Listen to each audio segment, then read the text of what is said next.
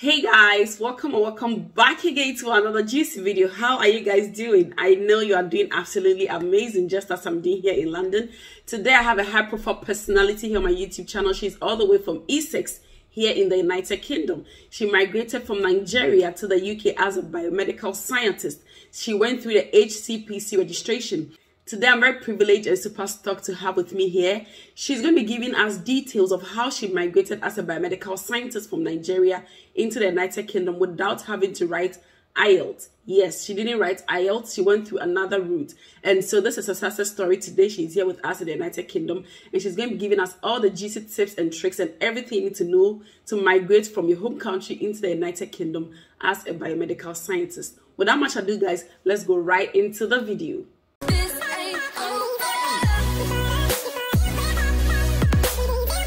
Today with me, I have a high profile personality in the person of Olayinka. She's all the way from Nigeria as a biomedical scientist. This is a success story, guys. She did it. And today I've got her here to tell us the process that she used for the sake of those in Africa who have been asking about how to do this HCPC registration. So I've got a person who's got a success story. She's got a YouTube channel. So I'll let Olayinka introduce herself to my fans and then we can begin our interview. Okay, thank you for having me, Rebecca. Um, my name is Olayinka Afolabi. I'm a biomedical scientist. Um, I work here in the United Kingdom. I work with the NHS, but I'm originally from Nigeria, like she said. And um, I came into the UK just about two months ago. Wow. yeah, yeah. I came in just about two months ago. I work in Essex, somewhere in Essex. That's where okay. I work have a YouTube channel. Oh, yes, yes. So she's got a YouTube channel. I'll leave the link to her channel in my description box, guys. If you have any further questions, as I always do, you can go onto her channel to, I mean, ask any questions. Feel free, follow her. We are here to guide you. That's the purpose of creating our YouTube channels. So I would like to ask, were you already a biomedical scientist from Nigeria before you moved in? Yes, I was, but then um the word biomedical scientist is um okay let me say it this way. The profession itself is giving different title depending on your country. In nigeria it's called mostly in most places in nigeria it's called medical laboratory. You won't hear um, many people call themselves biomedical scientists. Most people the title in nigeria is medical laboratory scientist but right. medical laboratory scientist hold um, bachelor's degree right. if that makes sense. Okay. And before you can actually register with the HCPC, which um, is the council that regulates um, biomedical science profession and some other professions, you have to hold a bachelor's degree in medical laboratory science or biomedical science. All right. So, so without a degree, you can't even do the registration at all. For biomedical scientists, no. Oh. You are you need to have a bachelor's degree at least. All right. Okay. So how long have you been practicing back in Nigeria before you moved to the United Kingdom? So um I, I did my internship in 2019. So I would officially yes. say my work experience started from then. What is the process like? What's the first thing you have to do to register as a BMS? We'll use BMS for short. To register as a BMS from overseas into the United Kingdom, what's the first step? Okay, um, the first step is to get registered with the Health and Care Professions Council. That is like a regulatory body that governs um, the practice of our medical scientists and some other professions. Okay, so what you need to do actually before you can get registered, you need to fulfill some criteria. Number one, you need to be sure that you're eligible. And what, what one of the things that makes you eligible as an international applicant. Now, the eligibility for people who studied in the United Kingdom is a bit different. There's a way the process goes. But if you studied outside the United Kingdom, your qualification is just for you to hold a bachelor's degree in either biomedical science, medical laboratory science. I think some countries call it medical laboratory technologies. So depending on the nomenclature, the mind is just that be, be sure that the nomenclature in your country is actually equivalent because I think some country call um, it medical laboratory technician, uh, but you need to be sure that it is actually equivalent to what um, is expected of you. Mm. So once you are sure that you hold your degree, you need to, of course, have your proof of identification, um, your proof of address. You need um, you need to be licensed. You need your practicing license. Um, depending on where you are from, if you are from places like Nigeria, Ghana, Nigeria, Ghana, some English-speaking country, mm-hmm. you don't need to have um, an English proficiency um, test okay. as it were, because there's a section of the application that will tell you to like tick yes or no. If the if the question is is English your first language, so if English is your first language, like people from Nigeria, Ghana, and some other country, you just tick yes. Mm. And with that, you don't need to submit IELTS or TOEFL. Right. But if you are from other countries where English is not your first language or you were not taught in English, then you need to like um pro, um submit a proof English test. Of, so with you, you didn't write any English test. Yeah, yeah, I didn't write any English test, and wow. jumping over to when I had to um, apply for visa, you know, you need an English proficiency test. All I did was to use Ecctis, popularly called, formerly called NARIC. so, right. so that was just all I did. But if you choose to, because it, it's actually more expensive though, but if you choose to like write an exam, you can as long as it's the one acceptable by UKVI. But that is just for visa application, not for the HCPC registration now. Oh, right. Yeah, and um, you need to get your course information form from your school. That is just like, it's not the same as transcript. It's like a syllabus that contains everything you've done in school, including your clinical postings and all of that. With that, the HCPC will get to know that, okay, you you are truly experienced or you, you have the theoretical knowledge. Now you need at least one year of um work experience at least okay. one year. So if you are from i, I don't know how it's uh, operates in ghana but if you're from nigeria that means you can apply after your internship. Right. Yes with, with just your internship experience you can apply. Yeah but then, but then bear it in mind that for people from Nigeria, the reason you will not be able to apply during your internship, number one, because you, you most likely not have a year experience, yes. then you wouldn't get your um permanent license to practice mm-hmm. until after your internship. What you have during internship is just a provisional license. So then, yeah, so you need at least one year experience and some other little things that you get to know with time. Okay. So yeah, I'll try and get that link to the registration in my description box for those of you that will be interested. So after going through this application process, how long does it take to get a decision on your application? Okay. Um, I would say this way. I did the old form of application.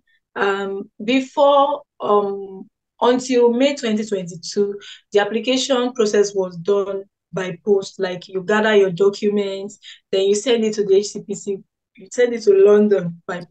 Yeah, by post. That was what.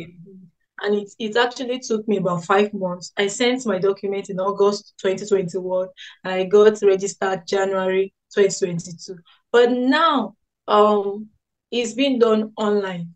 You scan all your documents and uh, you you forward it to them and all of that.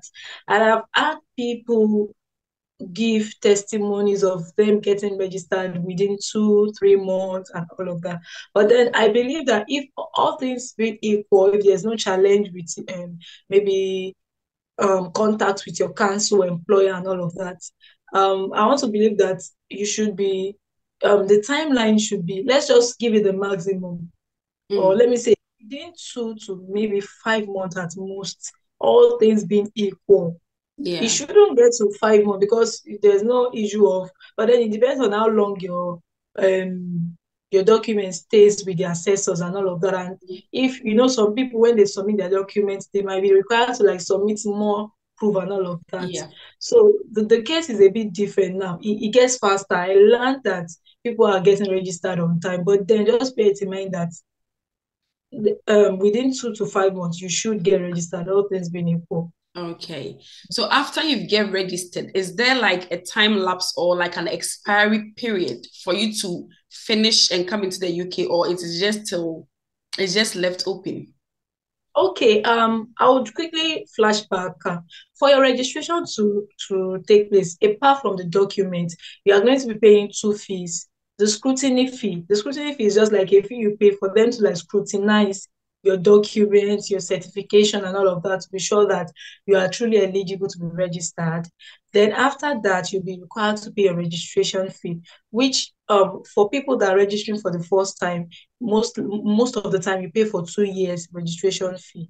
Um, it's like two cycles. They use the word cycle though. Mm-hmm. Once you get registered and you have a registration number, mm-hmm. you can start applying for jobs. Wow. Wow. So that brings me to the next question. So how did you go about finding the job? Which website did you use and like how did you go about the whole process of getting a job?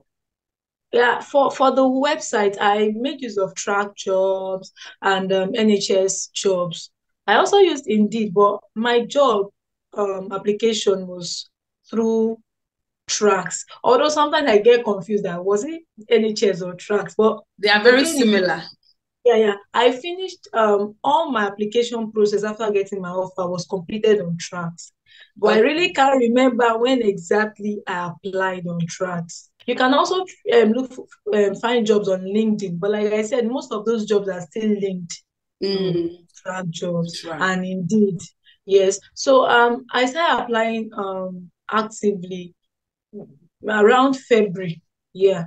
I started applying. You know, I said I got registered in January. Towards the end of January, that was when I got registered. But I had to like work on my application and all of that. So mm-hmm. I started applying, although I got so many, unfortunately, and um, to the glory of God, I eventually got an invite in May, and that as that is my only invite till date.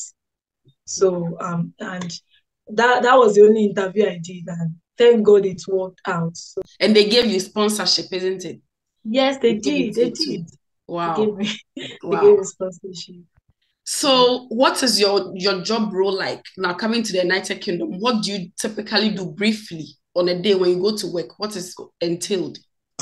Okay, when I go to work, um, okay, um, maybe biomedical scientists to understand the language more. But when I get to work, we, we do something called housekeeping, like or maintenance. You kind of um check up.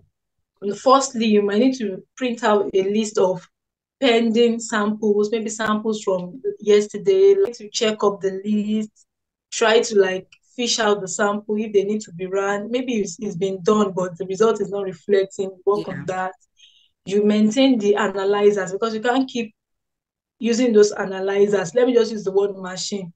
Or equipment, you need to be sure that they are producing the right results. So you maintain them, you run your controls, or let me say, I run my co- I run the controls if I have to. I do that. Sometimes might not be me, maybe it might be another person. And before before really working, you need to like clean your bench. You need to be sure that everywhere is sterile as much as possible. Then once sample stop uh, starts coming in, you start um loading sample. Although I'm still in training in some phases, like uh, I'll keep on, you know, like they can't train me on on every procedure just at once. You understand?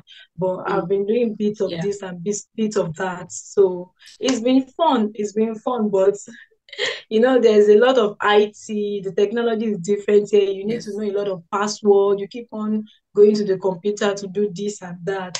So what is the salary like? Not like per month. What is the per annum salary like for somebody maybe who is planning to come? They want to know if the money is going to be enough or something.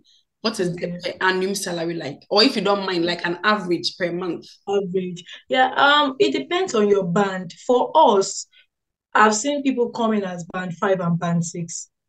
So you're not limited to like band five rules. Although I came in as a band five uh, medical scientist, but I've, I've, I've met with people and I've heard of people who came in as band six biomedical scientists. So um, the salary scale is actually online. For, for band fives is, is, is between I think 27,000 to about um, 32,000 Okay. There, there are some figures on it I, I really can't even remember myself. Yeah. So yeah, per annum and if you are coming in newly, especially from Nigeria, most likely you might be paid on the lower limit of your band. Yes. Either you're band five, you might get paid on the lower starting point.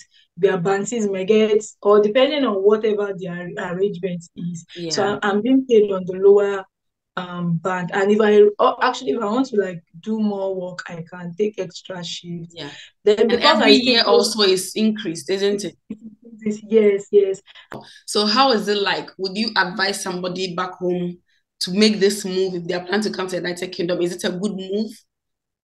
Yeah it is. Um it is. Number one especially if you are coming to work in your exact profession. It's because it's actually a step higher and you get to like personally i've always desired to practice in in a world class facility yeah. it, it has been my desire to just see biomedical science or medical laboratory science beyond um my level of exposure back in uh, nigeria mm-hmm. so it's it's it's a move that I would always advise anyone to take. And if you're for for any reason coming up to take a job that is not your original profession, so for the for the fact that you are coming to a new system, and for example, I'm sorry to just um jump for for example, people coming to do health healthcare assistant jobs, like we are either brothers or sisters to someone or like you caring for people is something that is a part of our life. So I, I feel like it's it's a great move. It's just that you might just try to like make your plan B to see if you want to go back to your profession. And there are some people that they always wanted to be in the healthcare system, but yeah. for some reasons they didn't study it in school. So it's a big opportunity to just come into the system. And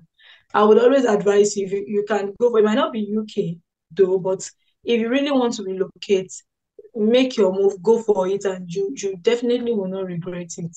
Yeah. Like I'm not regretting, trusting God, I won't regret it. Definitely, definitely. Thank you very much. Any final words for my viewers? Anything you'd like to tell them? Um, okay. Um, first I will tell you keep on supporting Rebecca and um just have it at the back of your mind that it is possible. Some of us back home, like for example, this time last year, it was still looking like I was still back in Nigeria, still expecting my HCPC registration and all of that. But I kept on seeing myself in UK. One of the things I did back then, I was always just watching. I don't know how I didn't come across your channel though, but I was always watching. I think I only came across your channel when I got here.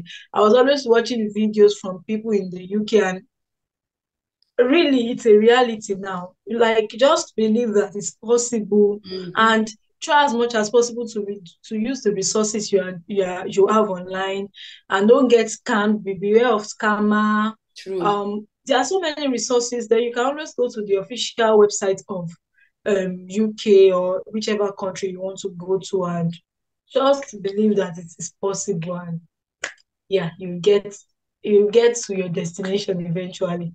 Wow. Thank you very much for your kind words. And yes, don't give up on your jackpot, your jackpot my uh, dreams. don't give up on it still pursue it with God on your side, determination, hard work, consistency, and focus, you will definitely make it. I think we'll draw an end to this video. I'll leave the link to uh, Olaike's channel in my description box and everywhere. Please go and follow her so that I can ask questions about the whole process. She's got a lot of videos explaining into details all that we've said here. She's gone a step ahead to explain each and every step into very much um detail. So you can go there and have all your questions answered. With this being said, we'll draw a curtain to today's interview. And until we meet again in our next video, guys, is bye. Thank you. Bye.